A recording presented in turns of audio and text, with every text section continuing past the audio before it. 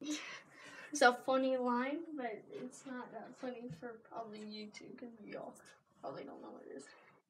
I have an idea. The old symbiosis trick.